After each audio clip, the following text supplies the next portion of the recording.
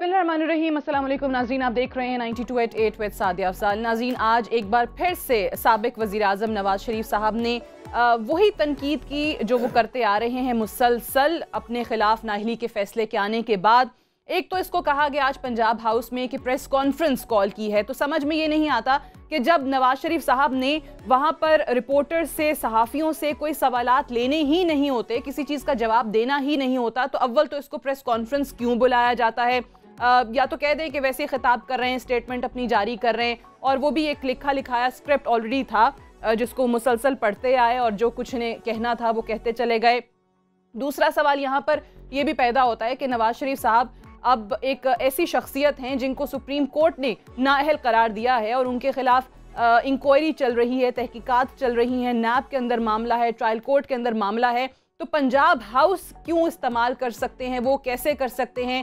وہ جو عوام کے ٹیکس پیئرز کے پیسے سے چل رہا ہو وہیں بیٹھ کر وہ ایک یہ press conference so call press conference یا اس کو جو بھی نام دینا چاہیں آپ دے سکتے ہیں، وہ کر لیتے ہیں۔ اور توقع یہ کی جا رہی تھی کہ آج اپنے دورہ سعودی عربیہ کو لے کر جو بہت ساری وضاحتیں لوگ مانگ رہے ہیں، وہ کریں گے، کوئی پکچر جو ہے وہ ہمارے سامنے کلیئر کرنے کی کوشش کریں گے کہ سعودی عرب کا دورہ کیوں کر کیا گیا۔ کیا وجوہات تھیں؟ اس حوالے سے جو بہت افواہیں گردش کر رہی ہیں چہمگوئیاں ہو رہی ہیں، ان میں کس حد تک صداقت ہے؟ لیکن اس پہ بھی بات نہیں کی گئی۔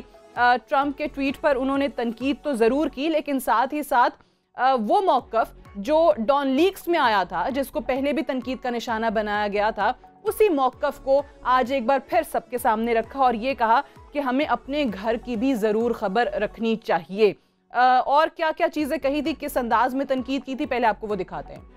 فرسودہ اصول پر کام شروع کر دیا گیا ہے۔ عوام کی رائے کا رخ موڑ دو۔ انجینئرنگ کے ذریعے کسی جماعت کا راستہ روک لو اور کسی لاڈلے چہیتے کا راستہ ہموار کر دو۔ ٹیلی فون کالوں، خفیہ رابطوں اور غیر قانونی فیصلوں کے ذریعے کسی کے ہاتھ پاؤں نہ باندھے جائیں اور کسی لاڈلے کے لیے ہر روز ایک نئی ڈیل اور نئی ڈھیل کا انتظام نہ کیا جائے کہ اگر پردے کے پیچھے یہ کاروائیاں نہ رکی تو میں یہیں اسلام آباد میں سارے ثبوت اور سارے شواہد قوم کے سامنے رکھ دوں گا۔ میں بتاؤں گا کہ اب کیا کچھ ہو رہا ہے اور کس طرح انتخابی عمل پر اپنی مرضی مسلط کرنے کی کوشش کی جا رہی ہے۔ نواز شریف صاحب کہتے ہیں کہ وہ اسلام آباد میں یہیں پر بیٹھ کے سب کچھ بتا دیں گے۔ اگر یہ پردے کے پیچھے کاروائیاں نہیں رکیں تو سوال یہ پیدا ہوتا ہے کہ بتاتے کیوں نہیں ہیں؟ آپ ہر بار کہتے ہیں کہ بہت سارے راز ہیں، جن سے پردہ اٹھانا باقی ہے۔ وہ چیز عوام کے سامنے آخر کب رکھیں گے؟ سب کا یہی سوال ہے۔ اور یہ کہا کہ کسی لاڈلے کو ڈیل اور ڈھیل دی جا رہی ہے۔ تو یقینی طور پہ نام لیے بغیر اشارہ جو تھا وہ عمران خان کی طرف تھا، پاکستان تحریک انصاف کی طرف تھا۔ اب یہ تمام چیزیں ہیں کہ نواز شریف صاحب ایک طرف تو یہ دھمکیاں بھی دے رہے ہیں بہت سارے راز افشا کرنے کی باتیں بھی کر رہے ہیں اور ساتھ ہی ساتھ وہ جو عدالت کے ساتھ ایک ایک ان کا کہہ لیجیے کہ رویہ رہا ہے یا عدالتی فیصلے کے بعد جو ججز کے حوالے سے وہ کہتے آئے ہیں، وہ بھی بڑھ چڑھ کے اس کا اظہار بھی اسی طریقے سے جاری ہے۔ آج انہی تمام چیزوں کے حوالے سے ہم بات کریں گے۔ ہمارے ساتھ نظر محمد گوندل صاحب موجود ہیں، اسلام آباد اسٹوڈیوز میں پاکستان تحریک انصاف کے سینئر رہنما، بہت شکریہ گوندل صاحب، آپ کی تشریف آوری کا۔ ملک احمد خان صاحب ہمارے ساتھ موجود ہیں لاہور سے ترجمان ہے پنجاب حکومت کے، پاکستان مسلم نواز سے آپ کا تعلق ہے، ملک صاحب آپ کا بھی شکریہ پروگرام میں جوائن کرنے کے لیے۔ اور چودھری منظور احمد صاحب ہمارے ساتھ ٹیلی فون لائن پہ موجود ہوں گے، انفارمیشن سیکریٹری ہیں پاکستان پیپلز پارٹی کے۔ اور بیرسٹر علی ظفر صاحب بھی ہمیں ٹیلی فون لائن پہ جوائن کریں گے، سینئر لا ایکسپرٹ ہیں۔ گوندل صاحب، آپ سے آغاز کرتے ہیں۔ لاڈلے کو لانے کے لیے راستہ ہموار کیا جا رہا ہے۔ سو نواز شریف صاحب کو تو پہلے سے ہی یقین ہے کہ آنے والے الیکشن جو ہیں وہ انجینئرڈ الیکشن ہوں گے اور ان کی جماعت کو ہرانے اور آپ کی جماعت کو جتانے کی کوشش ہو رہی ہے۔ سادیہ میں ایک لمحے کے لیے آپ کی اجازت سے میں گاؤں سے سیدھا آ رہا ہوں۔ جی جی۔ تو وہاں بڑے پرسرور پرسرار طریقے سے لوگوں نے مجھے کہا ہے اور میرا خیال تھا کہ میں آج گنے پہ کم از کم بات کروں گا۔ احمد خان کی موجودگی میں جو میرے چھوٹے بھائیوں کی طرح ہیں ٹھیک ہے۔ ان کے حوالے سے میں ذکر کر دوں کہ پنجاب میں گنے کا گروہر جو ہے ڈیڑھ سال سے اس کی فصل لگتا ہے تیار ہونے میں۔ آج وہ سڑکوں پہ اور بیچارہ ذلیل ہو رہا ہے ان کو سی پی آر نہیں دی جا رہی ان کو پراپر ان کا ویٹ نہیں کیا جا رہا پراپر پیمنٹ نہیں کی جا رہی۔ اس حوالے سے اگر ہو سکے ان کا کوئی پرسانے ہو جائے۔ ملک صاحب کو تو آپ نے کہہ دیا لیکن گنے کے کاشتکار جو ہیں وہ سندھ میں بھی بہت رو رہے ہیں۔ اس کے بھی آپ لوگ جو ہے آواز اٹھا رہے ہیں سندھ میں۔ تو آج آلریڈی آج مجھے کسی نے بتایا کہ وہاں ایک گنے کا کاشتکار جو اس نے خود کو آگ لگائی ہے کر رہے ہیں۔ پی ٹی آئی آج کسان ریلی کو لیڈ کر رہی ہے۔ اور پورے سندھ میں احتجاج کر رہے ہیں لیکن پنجاب میں چونکہ میں ابھی جی۔ اس پہ بات کرنا چاہ رہا تھا لیکن آتے ہی پریس کانفرنس نے ہمارے سارے پروگرام کو اپنی لپیٹ میں لے لیا۔ تو جو آپ کا جو آپ کا سوال تھا پریس کانفرنس تو تھی نہیں وہ وہ پریس ریلیز تھی۔ اور میرے خیال میں پریس ریلیز کرنا وہ تو کوئی ضرورت نہیں ہوتی لوگوں کو بلانے کی۔ لیکن بات یہ ہے کہ جو میاں صاحب نے کہا ہے کہ لاڈلے کو مختلف طریقوں سے اکاموڈیٹ کیا جا رہا ہے۔ انجینئرنگ کے ذریعے عوام کا رخ موڑا جا رہا ہے اور اگر ان چیزوں سے باز نہ آئے تو میں یہیں پریس کانفرنس کے تمام پردوں کو چاک کر دوں گا۔ تو میرا خیال میں جب وہ یہ پردے چاک کریں تو وہ جو آئی جی آئی والے دو الیکشن ہیں ان کے حوالے سے جو فاروق لغاری کے ساتھ مل کے الیکشن لڑ گا اس کے حوالے سے اور جو یہ تیرہ والا جس میں اب یہ بیٹھے ہوئے ہیں جو آروز کا الیکشن کہا جاتا ہے افتخار چودھری اکیانی صاحب کا اس پہ بھی پردہ ضرور اٹھائیں کیونکہ یہ اس سے بہتر اور کوئی بندہ راز نہیں جانتا جتنے یہ خود جانتے ہیں۔ تو تیسری بات میرا خیال میں لوگوں کا آج پورے قوم اس تذبذب میں تھی کہ پانچ دن پورا خاندان ادھر بیٹھا رہا ہے اور یقیناً پاکستان کے عوام کے پیسے پہ خرچہ کرتا رہا ہے۔ تو وہ لوگوں کا خیال تھا کہ آج یہ کچھ واضح کریں گے کہ ہم کوئی آپ کو تیل کے حوالے سے فیسلٹی لینے گئے تھے کہ نئے سال کے لیے جو انہوں نے بم گرایا ہے یا کوئی انٹرنیشنلی جو ہم پہ ایک پریشر ہے یو ایس اے کا اور باقی لوگوں کا۔ اور ہم سے قربانیاں بھی لے رہے ہیں لیکن ہم پہ پریشر بھی ہے۔ اس انہوں نے بات کی نا کہ اپنے گھر کی بھی خبر حوالے رکھیں سے وہ جو ڈان لیکس میں موقف اور آیا تھا پھر یہ بھی کہہ دیا کہ اس وقت وطنی پہ شک کیا میری۔ اس حوالے سے کوئی ہمیں خوشخبری دیتے آتے ہی مودی ٹرمپ اور میاں نواز شریف کی زبان کو اگر آپ کمپیئر کریں تو مجھے کوئی فرق نظر نہیں آتا۔ وہی بات ٹرمپ کہہ رہا ہے وہی مودی کہہ رہا ہے وہی نواز شریف کہہ رہا ہے۔ اور یہ اس ملک کے حوالے سے اس قوم کے حوالے سے اس عوام کے حوالے سے جنہوں نے پینتیس سال کو اس کو حکمرانی کا حق دیا۔ حق دیا تو خیر نہیں وہ جو جیسے انجینئر کا جو تجربہ کی بات کر رہے ہیں لیکن یہ پورے بینیفیشری ہیں اس ملک کے۔ اور پورے دنیا میں تین سو ارب کا یہ ڈکیتی کر کے بہر لے گئے ان لوگوں سے تھوڑا سا اگر وفا نہیں کر سکتے تو دشمنی تو نہ کریں۔ دشمنی نہ کریں ٹھیک ہے۔ اچھا ملک صاحب یہ انجینئرڈ الیکشن کی جو بات کی ہے اس پہ تو میں بعد میں آپ سے سوال کروں گی لیکن سب سے پہلے جو دو بنیادی سوال کہ آج بھی پاکستان تحریک انصاف کی طرف سے بھی پریس کانفرنس ہوئی تو اس میں بھی یہ سوال اٹھایا گیا کہ پنجاب ہاؤس کس کیپیسٹی میں یوز کرتے ہیں؟ وہ شخصیت ہیں جن کو سپریم کورٹ نے نااہل قرار دیا ہے ٹرائل کورٹ میں معاملہ چل رہا ہے، نیب تحقیقات کر رہی ہے۔ تو پنجاب ہاؤس میں بیٹھ کے کس کیپیسٹی میں یہ بات کرتے ہیں؟ And why do you call it a press conference آپ نواز شریف صاحب کو پریس کانفرنس کے اندر یا ایک سٹیٹمنٹ جاری کرنے میں فرق تو سمجھا دیں، صحافی بیٹھے رہتے ہیں، وہ سوال ہی نہیں لیتے۔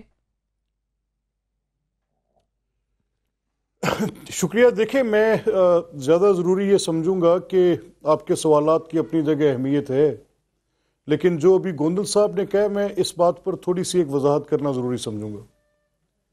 دیکھیں ہماری تاریخ ستر سال سے جو ہے وہ ہمارے سامنے ہے اور گوندل صاحب اس سے بہت اچھی طرح واقف ہیں۔ سر میرے سوالات کا جواب تو دے دیں پہلے جو دو چیزیں میں نے آپ سے جی پوچھی میں ضرور میں میں آپ جی، کے سوالات کو جواب دوں گا۔ بعد میں جواب دے دینا سر۔ نہیں وہ ان کا بالکل حق حاصل ہے جی۔ جیسے وہ سوال پوچھنے کا حق رکھتی ہیں میں جواب دینے کا رکھتا ہوں جی۔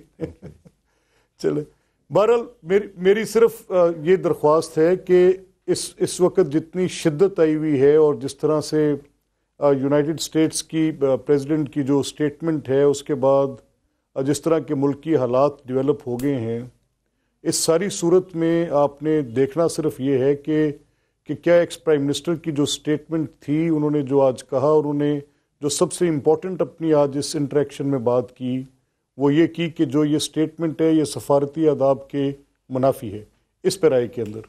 اور جو ان کا یہ شکوہ ہے کہ میرے ساتھ جو زیادتی کی گئی ہے اس کا اظہار وہ آ، آ، سپریم کورٹ کے فیصلے سے لے کر آج تک کرتے رہے۔ آج انہوں نے ضمن اس بات کا بھی ذکر کیا کہ جو اس سے پہلے کے واقعات ہیں وہ کیا ہیں؟ تو یہ ساری بات تو اب آپ کے سامنے ہے اس میں سے کریدنا اور سر میں نے آپ سے سوال یہ کیا ہے کہ پنجاب ہاؤس وہ کس کیپیسٹی میں یوز کرتے ہیں اور یہ پریس کانفرنس کیوں کہا جاتا ہے؟ اس کو اعلان کیوں کہا جاتا ہے؟ جب صحافی بیٹھے رہتے ہیں رپورٹرز بیٹھے رہتے ہیں ان سے سوالات نہیں لیے جاتے یہ تو ایک سٹیٹمنٹ جاری کر دینا ہو گیا نا؟ نہیں دیکھیں یہ یہ کوئی اس یہ انٹریکشن کوئی ایسی نہیں ہے جس میں آپ کا ضروری ہے کہ آپ نے کوئی کوشچن آنسر سیشن بھی کرنا پریس کانفرنس کا نام دیتے ہیں آپ۔ Press conference is suppose to be کہ آپ جب ایک موقع فراہم کریں۔ رپورٹرز کو جس کے اندر۔ نہیں میری میری آپ میری گزارش سن لیں۔ ٹھیک ہے یہ آپ آپ اس کو ایسے کہہ رہی ہیں لیکن ہم تو پریوی ہیں اس چیز سے کہ جب آپ آپ ایک انٹریکشن رکھتے ہیں ود جرنلسٹ کو ضروری نہیں ہوتا کہ ہر میڈیم میں آپ نے کوئی کوشچن آنسر سیشن بھی کرنا ہے آپ اپنی بات کرتے press ہیں conference. in Call press- it just an interaction with journalists and reporters.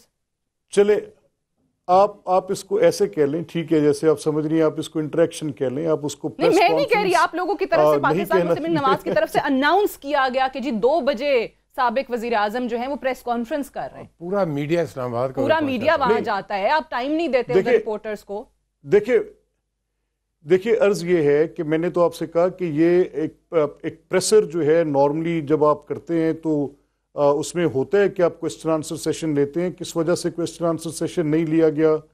یہ is better known to the people those are there لیکن یہ بھی ایک میڈیم ہے کرنے کا۔ اس میں کوئی ایسی ناراض ہونے کی بات نہیں۔ چلیں نیکسٹ ٹائم خیال کریں گے ضرور کریں گے آپ کی ہمارے رپورٹر جو ہیں وہ وہاں گھنٹوں گھنٹوں بیٹھے رہتے ہیں انتظار کرتے رہتے ہیں۔ اور جب نواز شریف صاحب بول چکے ہوتے ہیں ان کی باری نہیں آتی بیچاروں کی ان کو کہہ دیا جاتا ہے کہ نہیں سوالات نہیں لیے جائیں گے۔ رائٹ میں چودھری منظور صاحب مجھے اچھا، بتایا جا رہا ہے میرے ساتھ آ گئے۔ چودھری منظور صاحب السلام۔ علیکم۔ چودھری منظور صاحب آپ کو آواز آ رہی ہے؟ جی مجھے آ رہی آ رہی۔ اچھا چودھری منظور صاحب یہ بتائیں کہ آج جو کچھ نواز شریف صاحب نے کہا ہے، ایک تو میں یہ بات کر رہی تھی کہ اس کو پریس کانفرنس کا نام دیا گیا، جو کہ کہیں سے پریس کانفرنس نہیں تھی رپورٹر سے سوالات نہیں لیے جاتے ہیں اس کے اندر۔ لیکن سب سے پہلے ذرا ٹرمپ کے حوالے سے انہوں نے یہ تو بات کی کہ امریکی صدر کی ٹویٹ جو ہے، بڑی غیر سنجیدہ تھی، نہیں ہونا چاہیے تھا، ہمیں ان کی خیرات کی ضرورت نہیں ہے۔ ایک جملہ جو انہوں نے کہا کہ شاید خاقان عباسی ایسی پالیسی بنائیں جس سے امداد کی ضرورت ہی نہ رہے۔ تو سوال یہاں پہ یہ نہیں پیدا ہوتا کہ وہ شاہد خاقان عباسی کو کہہ رہے ہیں، اپنے سابقہ دوار حکومت میں انہوں نے کیا کیا ہے؟ انہوں نے کیوں کوئی ایسی پالیسی پھر نہیں بنائی؟ اچھا پہلی بات تو یہ ہے دیکھیے، انہوں نے ابھی تک حکومت کا کوئی خاص رسپانس نہیں آیا۔ وہ کہہ رہے ہیں، ہم سوچ رہے ہیں کہ کیا رسپانس دیں۔ اور پھر بڑا مائلڈ رسپانس ہے جو آیا بھی ہے ٹرمپ کے اوپر۔ گورنمنٹ کی طرف سے یا مسلم لیگ نیوز کی طرف سے۔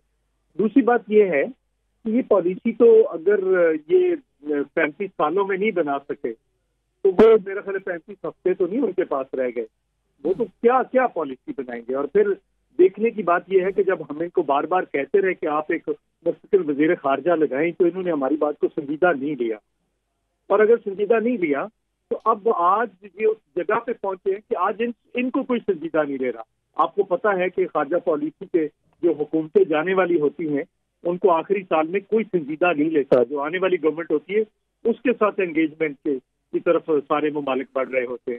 کیونکہ انہیں پتا ہوتا ہے کہ یہ وائنڈ اپ کر رہے ہیں، یہ ہمیں کچھ نہیں دے سکتے، کوئی بات نہیں کر سکتے۔ تو اس لیے ان کی بات کو آج دنیا میں کوئی سنجیدہ نہیں لے رہا۔ ایک بات۔ دوسری بات یہ ہے کہ اگر ایسی بات ہے، تو اس پہ ہم نے، ہمارے دور میں سلالہ پہ حملہ ہوا تھا۔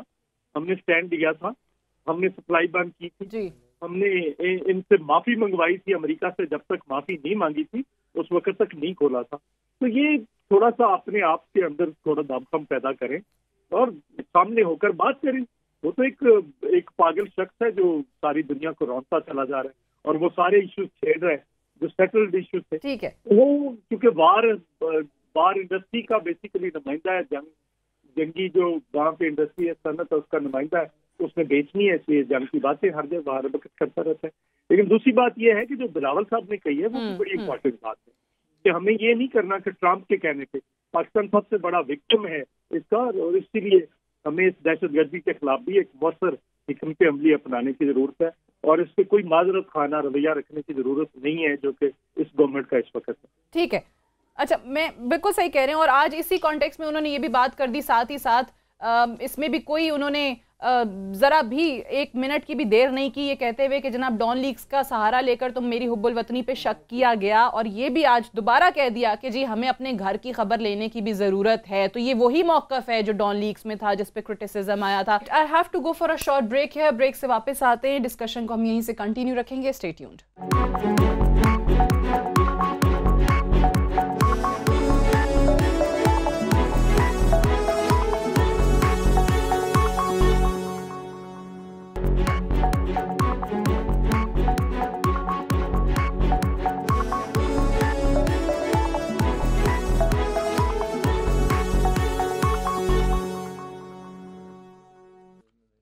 جی ویلکم بیک پروگرام میں ایک بار پھر سے خوش آمدید۔ گوندل صاحب جو ہم بات کر رہے تھے ایک تو ڈان لیگس کے حوالے سے بات ہوئی کہ اس کا کہا انہوں نے کہ جی مجھے اس پہ میری حب الوطنی پہ شک کیا گیا۔ لیکن آج پھر سے وہی بات انہوں نے دہرائی ہے کہ ہمیں اپنے گھر کی ضرور خبر لینی چاہیے۔ ایسے وقت میں جب آپ کو باہر سے دھمکیاں مل رہی ہیں امریکی صدر جو ہے وہ سنگین دھمکی لگاتا ہے ایک ٹویٹ کر دیتا ہے۔ یہ بات آج کرنی چاہیے تھی۔ اس بات کا جو بیک گراؤنڈ ہے اگر آپ اجازت ہیں تو میں جی۔ ڈسکس کر لوں۔ جب یہ ساری فیملی سعودیہ گئے ہیں اور ان کا لمبا سٹے ہو گیا اور ملاقات نہیں ہو رہی تھی تو ادھر لوگ پوری قوم حیجان میں شکار تھی۔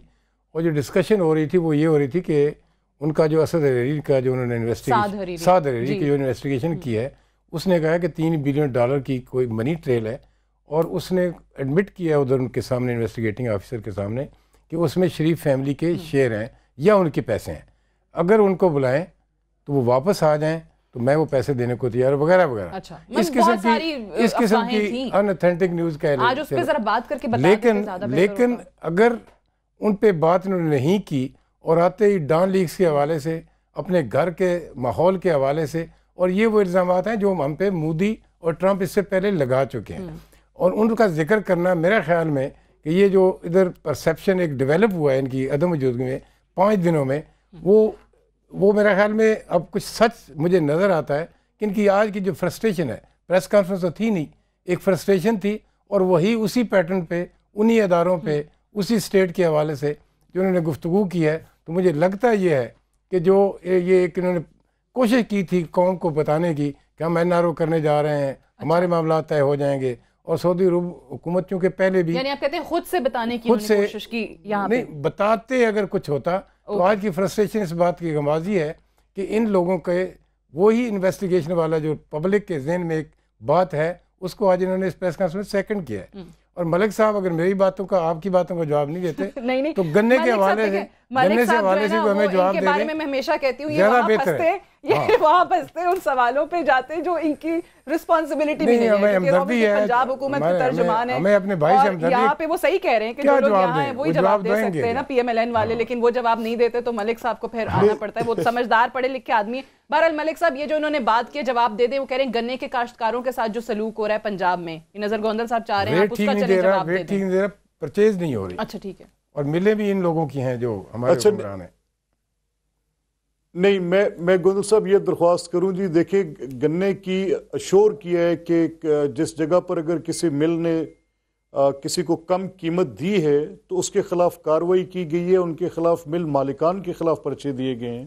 اور میں آپ کو آج کی بتا سکتا ہوں کہ آج کی رپورٹ کے مطابق یہ ہے کہ مالکان کو ایک تو بڑا اس کے اوپر ان پہ زور ڈالا گیا ہے کہ جتنے کاشتکار ہیں ان کو جو طے شدہ قیمت ہے ایک سو اسی روپے سے کم نہیں ہوگا سی پی آر کے ریکارڈز کو مانیٹر کروایا جا رہا ہے ٹائملی پیمنٹس کو انشور کروایا جا رہا ہے اور کٹوتی کے اوپر بھی پرچے دیے جا رہے ہیں جی اگر کسی جگہ کچھ میل پریکٹس ہوئی ہے تو اس کو بڑا سختی کے ساتھ نمٹا گیا ہے ابھی کچھ اس وقت پوزیشن یہ ہے کہ نائنٹی تھری پرسینٹ جو ہے وہاں پر سموتھ چل رہا ہے کچھ تھوڑی سی ہے افیکٹ جس میں ایک دو ملز مل مالکان نے کچھ پرائسز کم دیں اور پھر انہوں نے بیچ میں کچھ لوگ بٹھائے ہوئے تھے جو اپنے ان کے وہ ہوتے ہیں بروکرز وغیرہ لیکن اس کو کنٹرول کیا جا رہا ہے۔ ملک صاحب میں نے آپ کو ریسکیو کیا ہے پریس کانفرنس کے حوالے سے۔ لیکن میں آپ کو عرض کروں یوسف شوگر مل ہے رمضان شوگر مل ہے نیشنل شوگر مل ہے۔ کیونکہ میں اس ایریے سے ڈائریکٹلی میرا تعلق ہے۔ اور سچ بات یہ ہے کہ لوگ بہت پریشان ہیں۔ آپ تو اسی ہماری برادری کے آدمی ہیں اگر ہو سکے تو کر لیں۔ کیونکہ میں- سندھ کے اندر بھی گنے میں کے صرف کاشتکاروں سندھ میں بھی ایسے ہی ہو رہا ہے، پنجاب میں بھی ایسے ہی ہو رہا ہے۔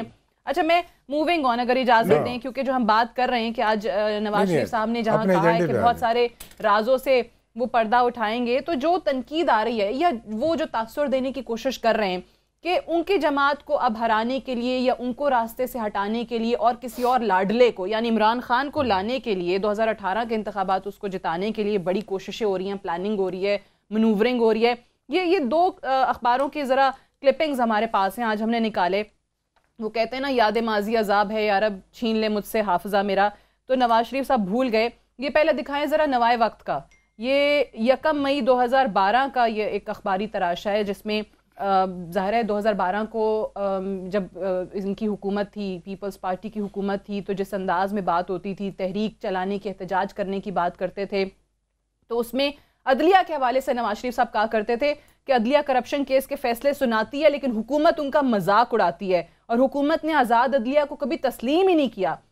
ہماری جمہوریت کے بارے میں دنیا آخر کیا رائے قائم کرے گی؟ جی۔ پوری قوم کو قانون کی حکمرانی کے لیے کمر بستہ ہو جانا چاہیے۔ تو یہ نواز شریف صاحب اس وقت کہا کرتے تھے۔ پھر آٹھ نومبر دو ہزار بارہ کو یہ ایکسپریس اخبار کی سٹوری ہے کہ ہر محب وطن پاکستانی فوج کو متحد اور مضبوط دیکھنا چاہتا ہے۔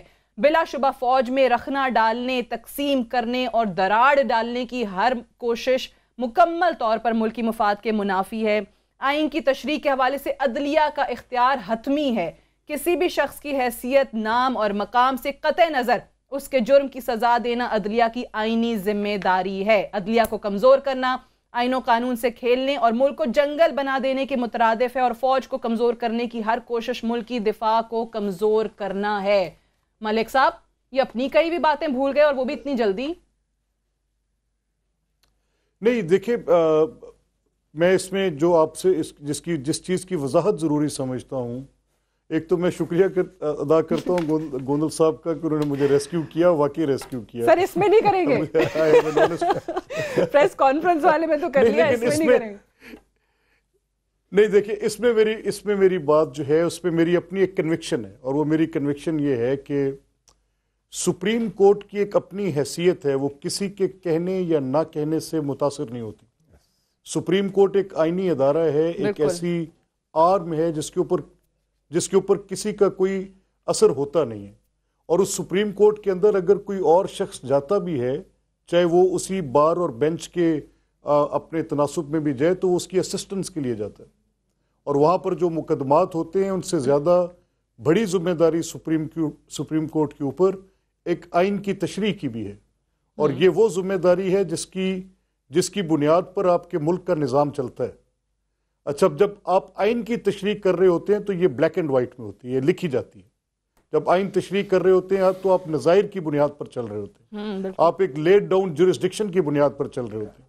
تو اس معاملے میں میری پہلے والا موقف درست ہے یہ آج والا درست ہے؟ ہاں، ملک صاحب نوز دس آرٹ کے وہ جو بات کرتے ہیں اس میں سوال ہو جاتا ہے میں سر میں زیادہ کنسرنڈ میں زیادہ کنسرنڈ سپریم کورٹ کی اس تشریح پر ہوں جو وہ سپریم کورٹ انہی نکتوں پر انہی نکات پر جو کہ قانونی نکات تھے سپریم کورٹ کا پہلے کا موقف کیا تھا اور آج کا کیا میں اچھا، ان سے اچھا۔ زیادہ کنسرن اب آپ یہ جو آپ کی بات ہے نا سپریم کورٹ کے حوالے سے میں کیونکہ بیرسٹر علی ظفر جوائن کر چکے ہیں میں ان سے جان لیتی ہوں۔ بیرسٹر صاحب السلام علیکم۔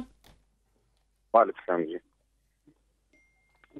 بیرسٹر جی بیرسٹر صاحب، یہ فرمائیے گا کہ آج جس انداز میں نواز شریف صاحب نے بات کی ہے اداروں کو لے کر تنقید کہہ لیں یا جو مرضی اس کو کہہ لیں، جو بڑے عرصے سے ایک ایک رویہ چل رہا ہے ان کی نااہلی کے بعد سے لے کے، آج بھی انہوں نے یہ کہا کہ ان کو ہٹانے کے لیے، ان کی جماعت کو ہٹانے کے لیے کوشش کی گئی، باقاعدہ سازش کہیں پر ہو رہی ہے اور انجینئرڈ الیکشن جو ہے وہ کرائے جا رہے ہیں۔ اور ملک صاحب نے یہاں پہ ابھی بات بھی کی ہے کہ وہ جو سپریم کورٹ کے انہی نکات پہ پہلے کے ڈیسیجنز ہیں جو نواز شریف صاحب کے لیے، پی ایم ایل این کے لیے اور تھے اور لاڈلا آپ کو پتہ ہے کس کو کہا جا رہا ہے، عمران خان کو کہ لاڈلے کے لیے اور ہیں۔ مریم بی بی کا تو ٹویٹ بھی آیا تھا کہ لاڈلے کی ضمانت نہیں ہوگی تو کس کی ہوگی؟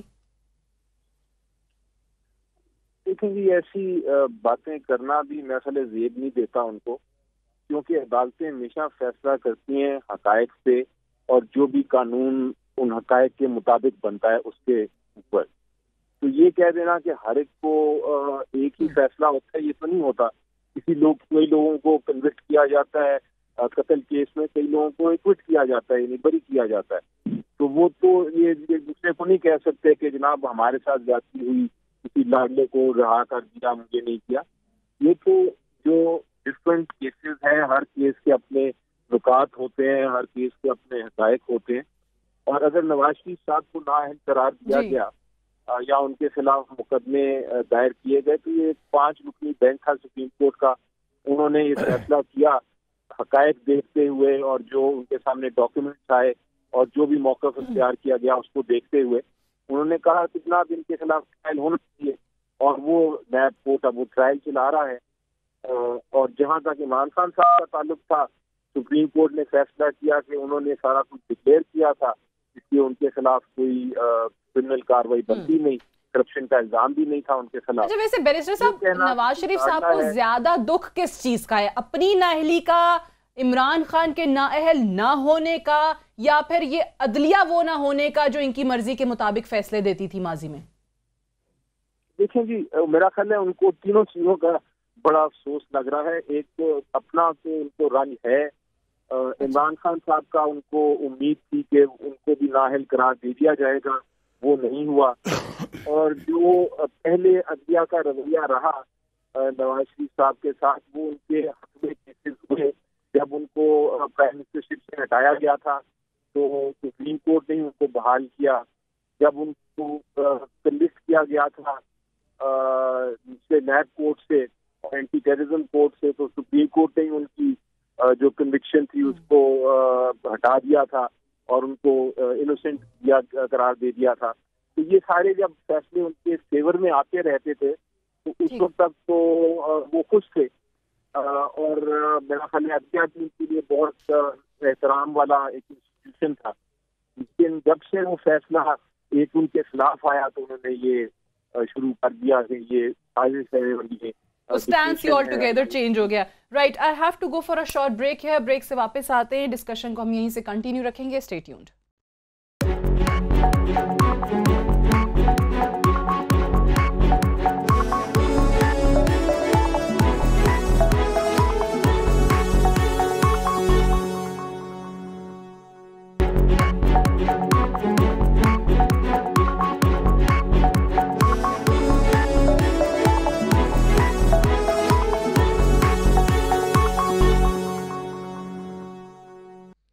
welcome back programme میں ایک بار پھر سے خوش آمدید۔ چودھری منظور صاحب، یہ بتائیں کہ ایک تو چلیں آج بقول نواز شریف لاڈلے کو لانے کی اگلے انتخابات میں تیاری ہو رہی ہے۔ لیکن ساتھ ہی جو اگلا جملہ تھا کہ جو ماضی میں بھی انتخابات رہے ہیں، اس میں بھی عوامی رائے کا احترام نہیں کیا گیا۔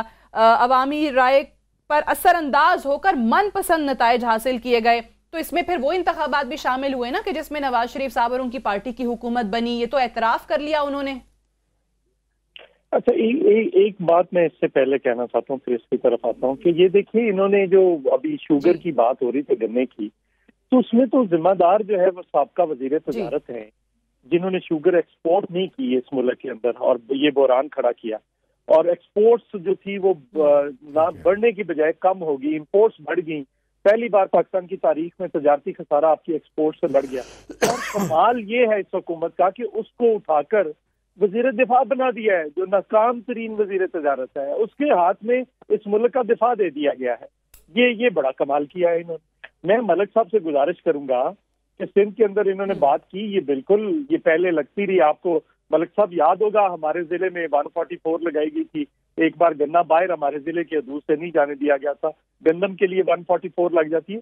تو پنجاب کے پنجاب کے اندر ون فورٹی فور لگائیں تاکہ پنجاب سے گنا سندھ نہ جائے تاکہ سندھ کے تو کم از کم کسانوں کو ان کی ان کی جو قیمت ہے وہ مل سکے۔ دوسری بات ابھی بیرسٹر صاحب نے فرمایا بیرسٹر علی ظفر صاحب نے دیکھیے وہاں بھی سارا ٹھیک نہیں ہے۔ علی ظفر صاحب نے جی۔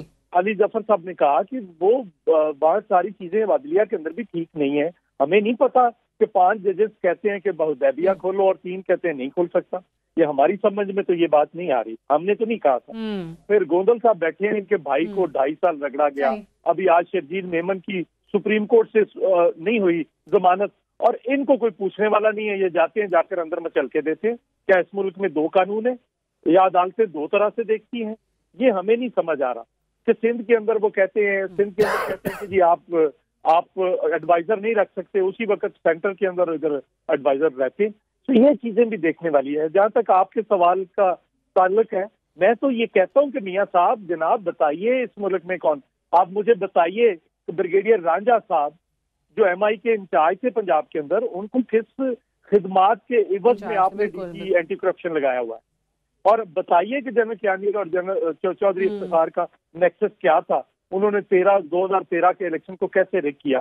بتائیے نبے کا الیکشن کیسے ریک ہوا تھا؟ بتائیے ایٹی ایٹ آئی جی آئی کس نے بنائی تھی؟ بتائیے انیس سو چھیانوے میں کیا ہوا تھا؟ آپ بتاتے کیوں نہیں؟ بتائے نا اس ملک کے لوگوں کو بتائیں۔ تو سارے سوالات ہیں۔ بالکل ان کے جواب نہیں آ رہے۔ اچھا یہ گوندل صاحب پھر لاڈلے کو لانے کی تیاری کون کر رہا ہے جو نواز شریف صاحب کو بہت کھٹک رہی ہے اور وہ کہتے ہیں کہ پردہ سازشیں چل رہی ہیں۔ خیر راز سے تو پردہ کب اٹھائیں؟ سادیا گوندل صاحب سے پہلے میں جی، جی، جی، صاحب۔ کے لاڈلوں کو دیکھ لینا چاہیے جو لاڈلے ایک کا اثر ہو رہا ہے دوسرے کا بھی وہی ہوگا سر لاڈلے کا ورڈ سن کے آپ رہ نہیں سکے۔ آپ نے کہا آپ فوراً بتائیں پیپلز پارٹی والے کہ لاڈلا کون ہے۔ گوندل صاحب۔ میں سمجھتا ہوں کہ یہ اس کی فرسٹریشن ہے۔ فرق کتنا ہے لاڈلوں میں؟ چلو ہمیں ہم لاڈلے ہی صحیح۔ لیکن ایک وہ لاڈلا ہے جو ملک سے کے مطلب بہر سے پیسے پاکستان لا رہا ہے ساری منی ٹریڈ سپریم کورٹ میں دے رہا ہے۔ اور پورا پیسہ چیریٹی میں ہاسپٹل میں وہ انویسٹ کر رہا ہے اور کسی عہدے پہ بھی نہیں ہے۔ اور ایک دوسرا جو موصوف ابھی نائل وزیر اعظم ہے تین سو ارب کی چوری کر کے بہر لے گیا ہے منی ٹریل بھی نہیں دے سکا ثبوت نہیں دے سکا۔ اور پورے ڈیڑھ دو سال میں ایک قطری خط کے علاوہ کوئی ڈاکومنٹس بھی نہیں جمع کرا سکے۔ یہ ہے بنیادی فرق۔ اب وہ شخص جو عدالتوں کا احترام کر رہا ہے وہ شخص جو سیکورٹی اداروں کے لیے لڑ رہا ہے اور وہ غیر ملکی طاقتوں کی آنکھوں میں آنکھیں ڈال کر ان کو جواب ان کے ٹویٹ کا جواب دے رہا ہے۔ اچھا۔ تو یقیناً قوم کا تو وہ لاڈلا ہے۔ وہ وہ قوم کا اگر لاڈلا ہے جس کے ساتھ میں بتاتا ہوں۔ میں۔ کوشش وہ نہیں کر رہا ہے کوشش عوام کر رہے ہیں۔ عوام ان کے ساتھ ہے۔ آپ نے دیکھا ہوگا پچھلے پانچ دس سال میں۔ وہ چوبیس گھنٹے کے نوٹس پہ لاکھوں لوگ جمع ہوتے ہیں اس کے کال پہ جمع ہوتے ہیں اور اپنی کاز پہ جمع ہوتے ہیں۔ اس کے موقف کو اور اس کے پروگرام کو لوگوں نے ایگری کیا ہوا ہے۔ اور یہ اس کی پاپولیرٹی دیکھ کر اس جیلسی کا کوئی جواز نہیں بنتا۔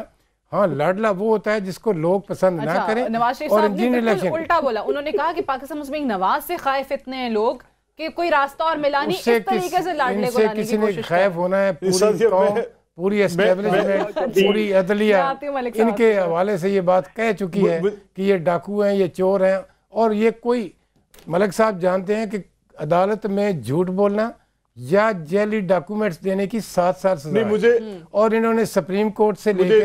جے آئی ٹی تک اور اب نیب کورٹ میں جو بھی کاغذ جمع کرایا وہ سب جھوٹا ہے جیلی ہے اور اب اگر عدالتیں ان کے ساتھ نرم رویہ رکھتی ہیں شکوہ تو ہمیں کرنا چاہیے تھا الٹا کر یہ رہے ہیں۔ کر یہ رہے ہیں۔ مجھے جی افسوس ہے ملک اس صاحب۔ بات کا۔ اچھا سادیہ اچھا صاحب دیکھیں دیکھیں سر ابھی ابھی ابھی جو ابھی ابھی ابھی میں چاہے صاحب ایک ایک عرض میں ہوں کر شاہ لوں صاحب سر ایک عرض طرف کر لوں میں میں آتی ہوں آپ سوال کر لیجیے گا دیکھیں۔ پھر اس کے بعد۔ ملک صاحب دیکھیں ملک صاحب جی سن لو پانی یہ- چھوٹا تھوڑا۔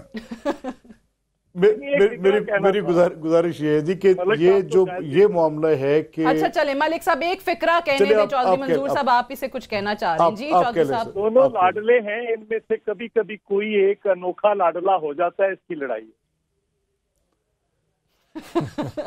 تو پیپلز پارٹی ویٹ کر رہی ہے کہ ہم کب لاڈلے ہوں گے۔ اچھا ملک صاحب۔ ہم کبھی بھی لاڈلے نہیں رہے۔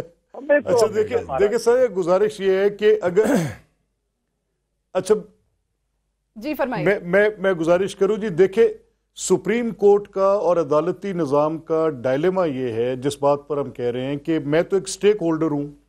ابھی ایک ایک سیاسی نریٹو ہے۔ اب میں گوندل صاحب اگر بات کر رہے ہوں گے اور میں ان کا ترکی بترکی ایک جواب دوں گا تو وہ ویسے بھی میں تو ان کے بیٹھے تو کم از کم دوں گا ہی نہیں۔ حکم کریں اور چودھری نہیں میں گزارش ہے۔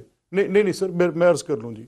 لیکن مسئلہ یہ ہے کہ جیسے بھی بیرسٹر علی ظفر صاحب بھی بات کر کے گئے کہ یہ جو ہم پارلیمنٹ کے الیکشن لڑ کے اپنے آپ کو پیش کرتے ہیں یہ تھریش ہولڈ سپریم کورٹ نے اتنا ٹائٹ کر دیا ہے کہ حبس تاری ہو جائے گی۔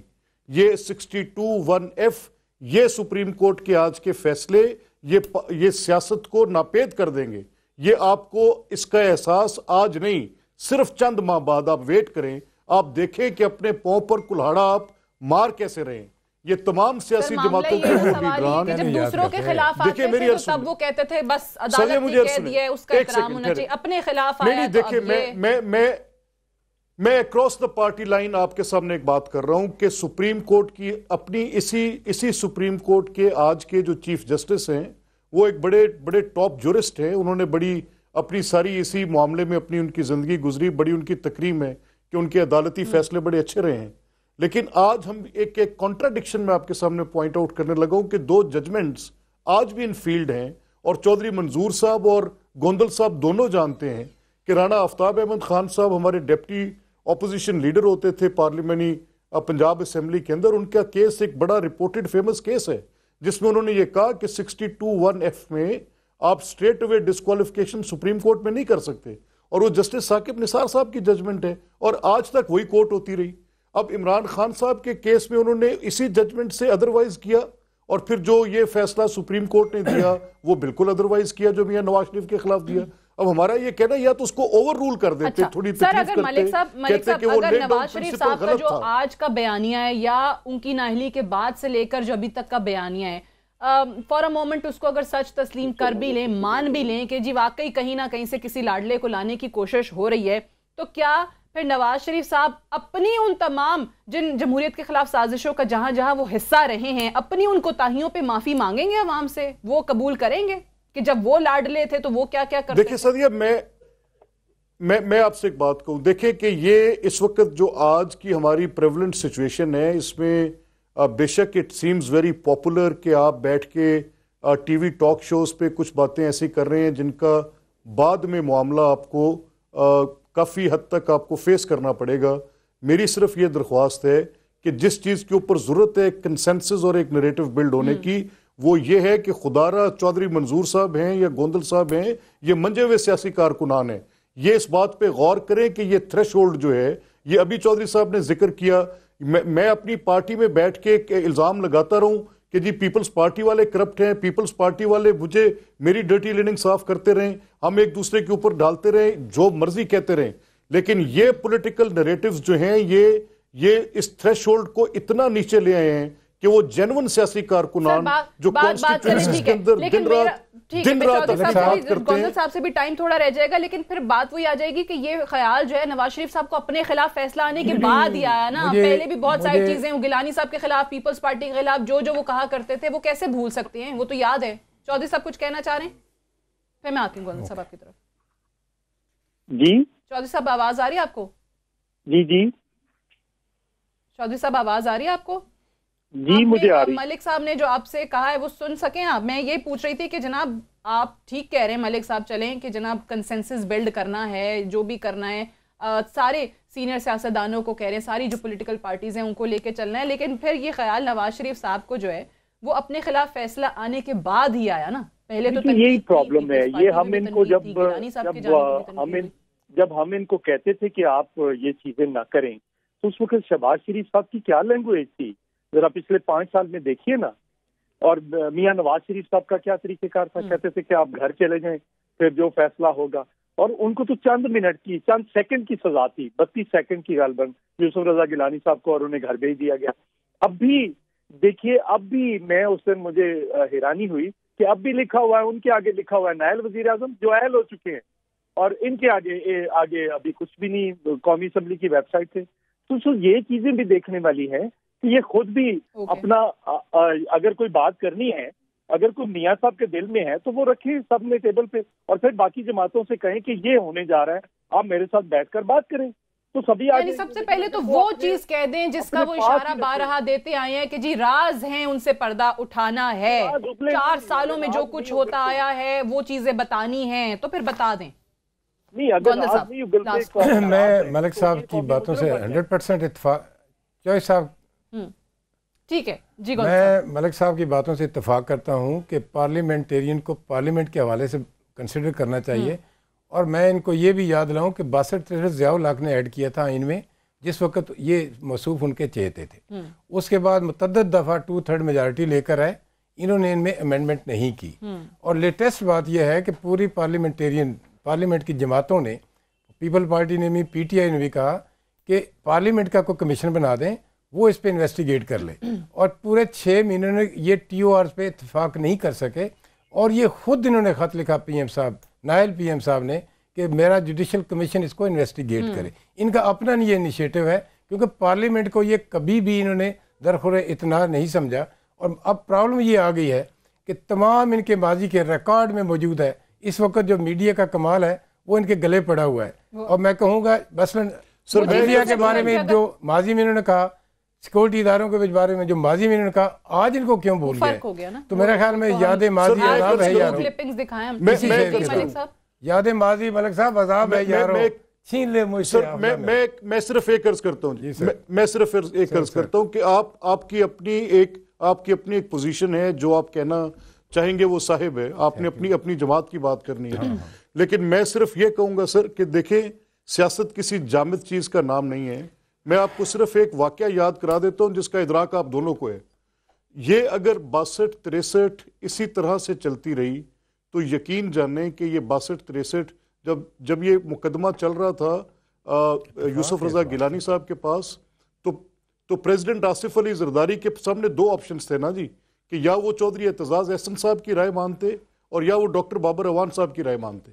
اور اس وقت ڈاکٹر بابر اوان صاحب نے یہ تاثر دیا اور اس تاثر کی بنیاد پر جو وہ پوری ایک بحث کھلی اور غلط ڈائریکشن میں چلی گئی اور وہ آخر میں کیجولٹی کر کے گئی، آپ کے پولیٹیکل سسٹم کو ویکن کر کے گئی۔ اور اس میں افتخار چودھری صاحب کی جو کوٹ تھی، ان کے اپنے ڈائنامکس تھے، ان کے اپنے ایجنڈے تھے۔ ابھی ہماری صرف یہ درخواست ہے کہ کم از کم آپ جیسے سینئر ایلیمنٹ جو سیاست کو سمجھتے ہیں، حلقوں کو سمجھتے ہیں اور سیاسی جماعتوں میں اپنا ایک ایک اپنی بات بھی کر سکتے ہیں۔ کم از کم اس۔ تھریشولڈ کے خلاف ضرور بات کریں۔ لیکن اس وقت آپ اس چیز کو صحیح کہتے تھے آج اس چیز کو آپ غلط کہہ رہے ہیں اس وقت جب دوسروں پہ وہ چیز لاگو ہو رہی تھی تب آپ اس کو صحیح کہتے تھے۔ وہ کہتے ہیں نا وہ کیا ہے کہ کی میرے قتل کے بعد اس نے جفا سے کسی توبہ ہائے اس زود یہ پشیماں کا کسی پشیماں جامد چیز ہونا کا نام نہیں ہے آپ اس کو آگے لے کر چلیں لیکن کم از کم I have to wind up here. Unfortunately time ختم ہو گیا. ملک صاحب آپ کا بہت شکریہ. چودھری منظور صاحب لیکن پہلے ہونا پہلے ہونا چاہیے تھا۔ گوندل صاحب آپ کا بھی بہت شکریہ. That's all for tonight. I'll see you tomorrow انشاءاللہ اجازت دیجیے خدا حافظ۔